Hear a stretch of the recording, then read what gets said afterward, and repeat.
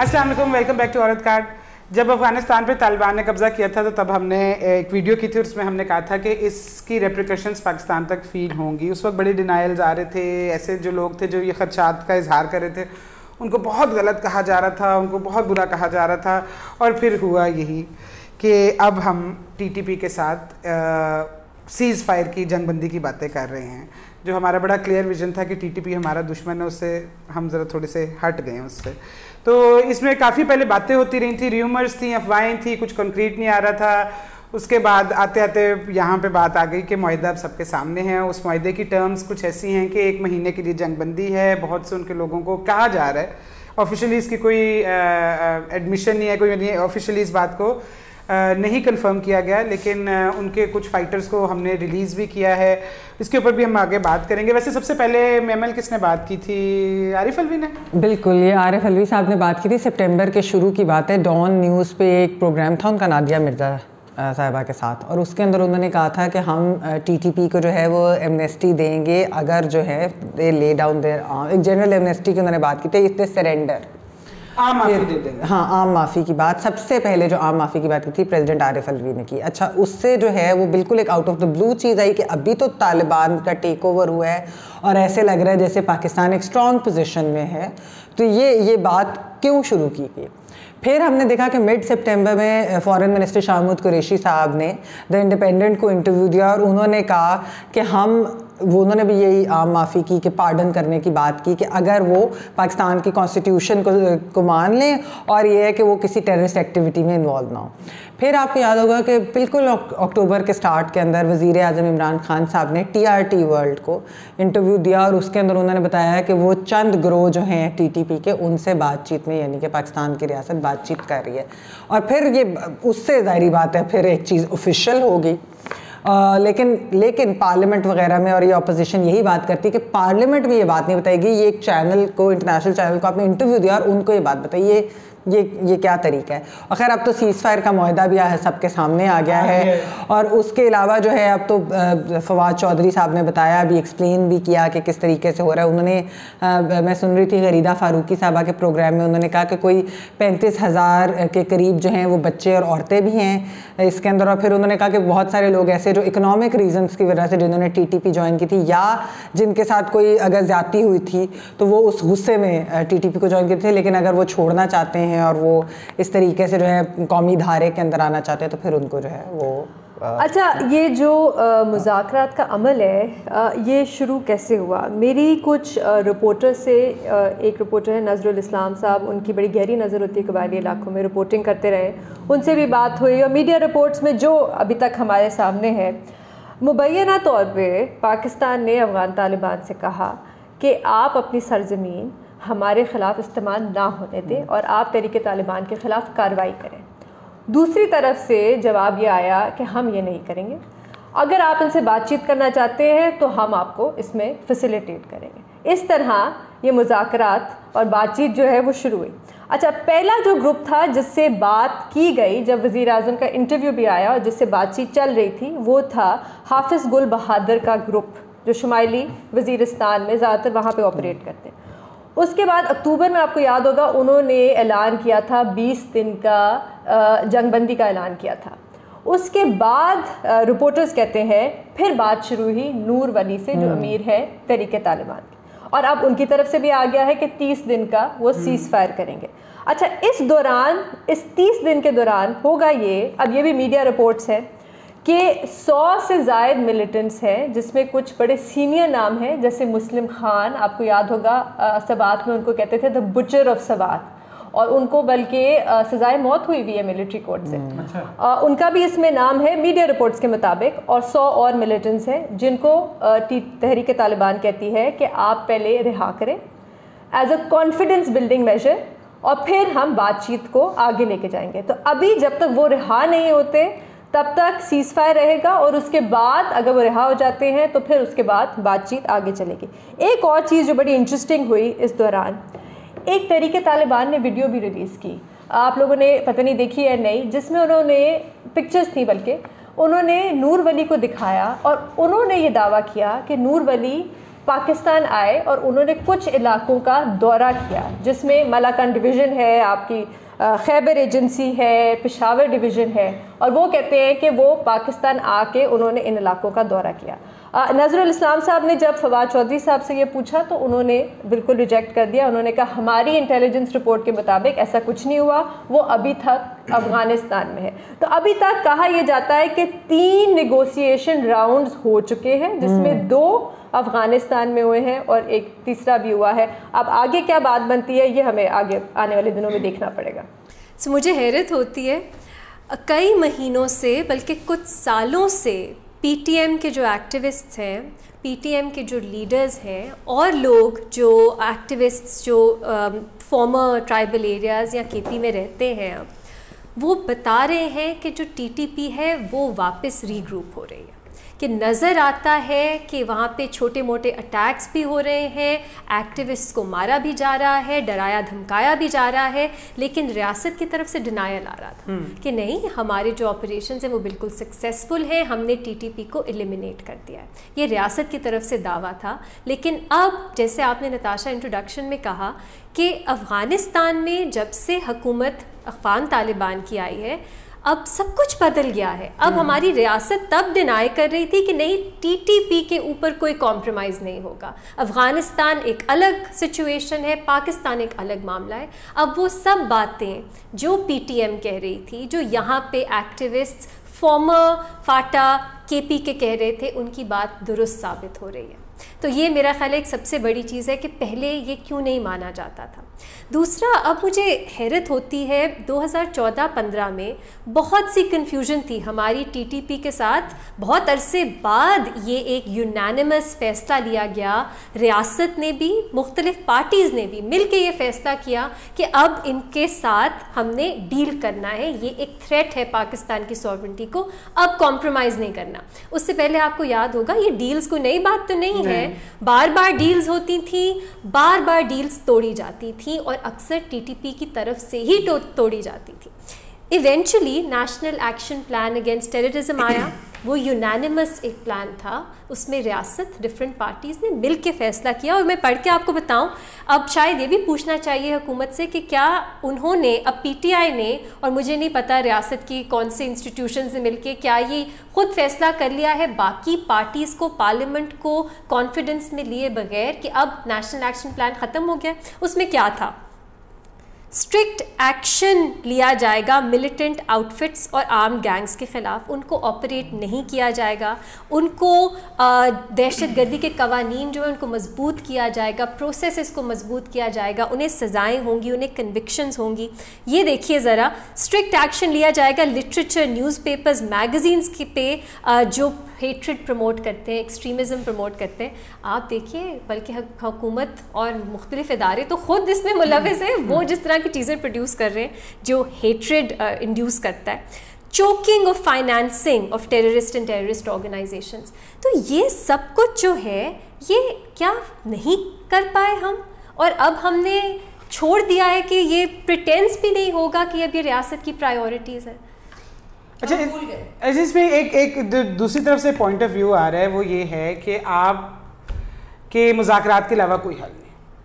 और आप जंगें करते रहें आप ऑपरेशन करते रहें कामयाब होंगे फिर वो फिर रीग्रुप कर जाएँगे फिर कामयाब होंगे फिर रीग्रुप कर जाएँगे शायद रियासत हारे शायद वो हारे लेकिन ये सिलसिला चलता रहेगा खून बहता रहेगा चाहे उनका बहे या इस तरफ़ से बहे। और ये सारा मामला चलता रहेगा तो आपको मुजाकर ही करने पड़ेंगे आखिर। देखिए, नताशा, इसमें मेरा तो जो मसला है ना, वो ये है, ये हमें जिस तरह मैंने कहा कि प्रेसिडेंट अलवी साहब से ये बात शुरू हुई और बिल्कुल एक आउट ऑफ़ द ब्लू एक सरप्राइज़ थी सबके लिए कि किस तरह हुई। बाद में पता चला, अभी अब हुकूमत से ही पता चल रहा है कि जी अफ़गान तालिबान ने या ये जो हुकूमत है इस वक्त तालिबान के अंदर, इन्होंने दरख्वास्त की कि आप इनके साथ जो है मुजाकर करें। फिर एक क्लोज डोर मीटिंग होती है आठ नवंबर को, उसके अंदर पार्लियामेंट के चंद लोगों को बताया जाता है रियासत की तरफ़ से कि क्या मामला चल रहे हैं।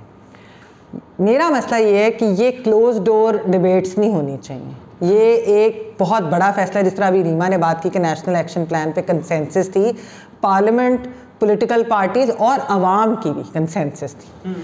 तो इसके अंदर आवाम को बिल्कुल अंधेरे में अभी तक रखा जा रहा है सिर्फ़ अनाउंसमेंट्स की जा रही है ना। पहले के एमनेस्टी दे दी जाएगी तो आवाम तो अंधेरे में ही होती नहीं आवाम को अंधेरे में होना नहीं चाहिए क्योंकि ये बात डिबेट अब होनी चाहिए पार्लियामेंट के अंदर। इसके ऊपर कंसेंसस बनाए कि किस तरीके से आगे जाना है।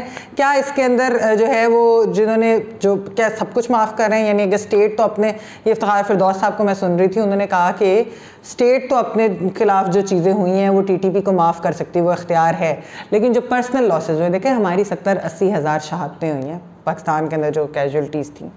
तो क्या हम उसमें सारे उसमें सिविलियन बहुत ज़्यादा सिविलियन भी थी? एपीएस के बच्चे हमें याद है और भी इस तरह के वाक़ात हुए थे।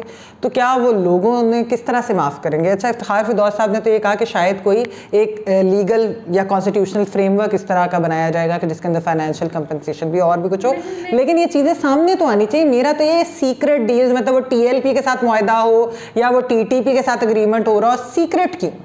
मेरा मेरा ख्याल है अगर रियासत ने फ़ैसला कर लिया है ना कि उन्होंने डील करनी है और उन्होंने लोगों को, जो पाकिस्तानियों की जान लेने में, उनके ख़िलाफ़ हमले करने में, बच्चों को, स्कूलों को, पार्क्स में, हर जगह उनको उन्होंने एमनेस्टी देनी है तो मेरा नहीं ख्याल कोई लीगल हर्डल है। हमारे आइन में प्रेसिडेंट के पास इख्तियार है, वो पार्डन कर सकते हैं, वो सेंटेंसेस कम्यूट कर सकते हैं। मुझे पता है तशवीश क्या होती है। जब ये नेशनल एक्शन प्लान आया, कुछ इसके पॉइंट से जिससे मुझे तो इख्तलाफ था, और इंसानी हकूक़ के एक्टिविस्ट तंजीमें, उन सबको इख्तलाफ था कि आपने मिलिट्री कोर्ट्स को जुरिस्टिक्शन दे दी कि वो जो सिविलियंस हैं, जो अलेजिडली दहशत गर्दी में मुलविस हैं, वो उनको ट्राई करें। अब सैकड़ों लोगों को ट्राई किया गया बिल्कुल ओपेक ट्रायल्स में। पिशावर हाई कोर्ट का फैसला है जिसमें उन्होंने नल एंड वॉइड कर दिए कई इस तरह की सज़ाएँ, क्योंकि उन्होंने कहा तशद के बाद कन्विक्शंस हुई हैं। तब जो उन मिलिट्री कोर्ट्स के ख़िलाफ़ बात करता था उनको कहा जाता था आप तो टेररिस्ट सिंपथाइजर हैं। और उसमें अक्सर जो लोग हैं वो आपके लो लेवल जो अब बात होती है ना कि वो आइडियोलॉजिकल लोग नहीं थे उन्होंने अपनी मजबूरियों के तहत मेरा तो ख्याल है कोई भी जस्टिफिकेशन दहशत गर्दी की नहीं है उनको सजाएँ हुई। और अब जिन लोगों के साथ डील्स होंगी वो लीडरशिप होगी। अच्छा हाँ। मेरे ज़्यादातर दो दो सवाल है। चले आपने रियासत ने फैसला कर लिया आपने मुजाकर इनके साथ करना है अमन मुहिदा करना है। खैर पहले भी नौ दफ़ा हम कर चुके हैं हम्म। उनका कुछ नहीं हुआ। चलें खैर आपने फ़ैसला कर लिया। दो सवाल। वो एक तो ये कि इतने सालों से आप हमें बताते आए कि ये रॉ फंडेड है। हम्म। इनको इंडिया से पैसे आते हैं। हम्म। ये आपने डोसियर्स भी दिए आपने दुनिया भर में इस पे बात फ़िल्में भी बनाई। वीडियोस भी रिलीज़ की। यूनाइटेड नेशंस ने इसको डेजिग्नेट किया हुआ एज अ टेररिस्ट ऑर्गेनाइजेशन अब आप दुनिया को जाके क्या कहेंगे? अच्छा आपके दूसरे सवाल से दूसरे पहले सवाल? नहीं नहीं दूसरे सवाल से पहले। अच्छा। देखिए तो हमने टीएलपी को भी कहा था वो तो हमने चार दिन बाद बदल दी बात इसलिए चलिए वो तो अभी अभी हमने किया था ना अभी अभी यूटर्न ले सकते। जैसे रीमा ने कहा रियासत कुछ भी कर सकती है। रियासत कुछ भी कर सकती है लेकिन एक और सवाल जो मेरे लिए बहुत अहम है अगर ये मिलिटेंट्स हथियार डाल देते हैं वापस अपने इलाकों में चले जाते हैं इनको आप रिहेबिलिटेट करने के लिए वापस माशरे का हिस्सा बनाने के लिए क्या कर रहे हैं? ऐसा तो नहीं है कि ये हथियार डाल के वापस जाके कोई काम करना शुरू कर देंगे या कोई जॉब ले लेंगे। आपने इनको रिहेबिलिटेट करना है। कितने सालों से ये लड़ रहे हैं? तो इनकी रिहेबिलिटेशन पॉलिसी क्या है? चले आपने ये तो कर दिया।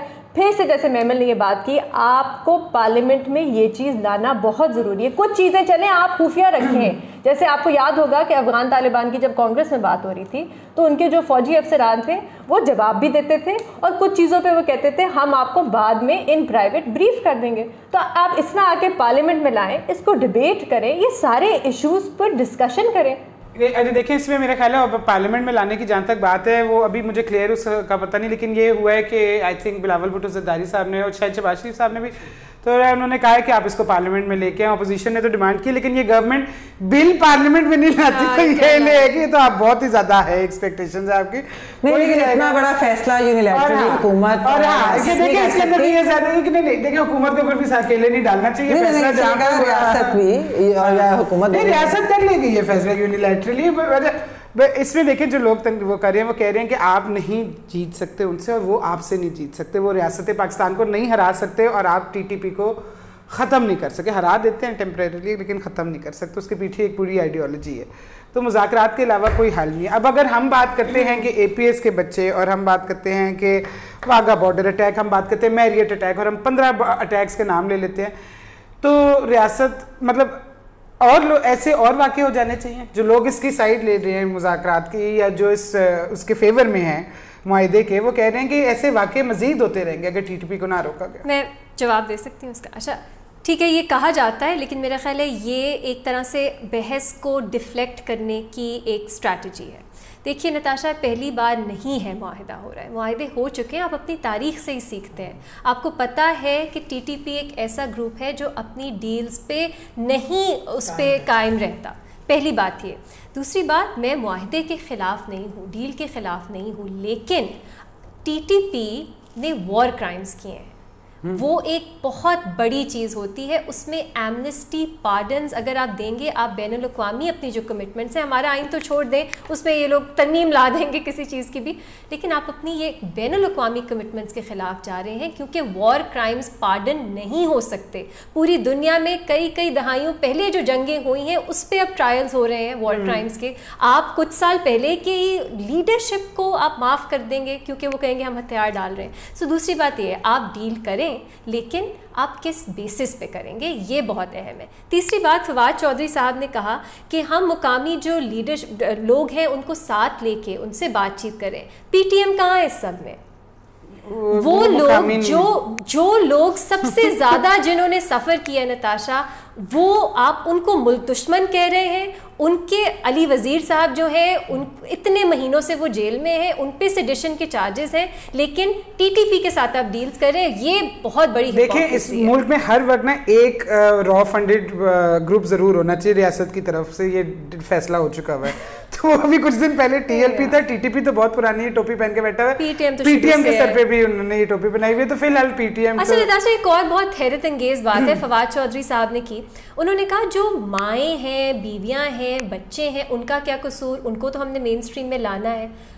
वो तो ताल वो क्या? वो टीटीपी फाइटर्स थे ये तो हमें बताएँ। ये भी हमारी रियासत की एक बहुत बहुत बड़ा वैसे उनका ख्याल आया हमारी कि को। इतनी देर से क्या अच्छा जब हमें ख्याल आ रहा था तो हम बहुत बुरे थे। हाँ, वही मैं हाँ। कह रही हूँ। देखिए किस तरह बदलता है। आज हम अगर इन डील्स को अपोज करेंगे हम ही ट्रेटर्स होंगे। पहले जब हम इन फैमिलीज़ के हकूक की बात करते थे फेयर ट्रायल की बात करते थे, तब हम लोग टेररिस्ट सिंपथाइजर्स थे।